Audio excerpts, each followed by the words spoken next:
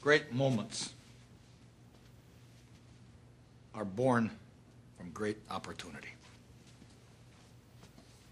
And that's what you have here tonight, boys. That's what you've earned here tonight.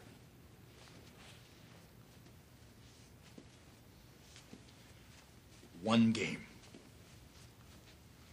If we played them 10 times, they might win nine. Not this game. Not tonight. Tonight, we skate with them. Tonight, we stay with them.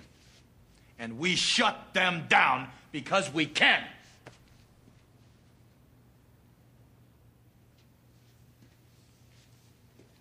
Tonight, we are the greatest hockey team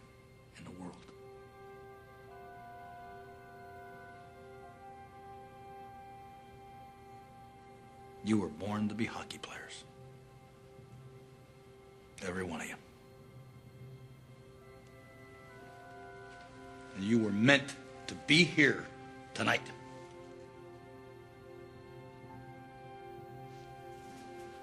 This is your time.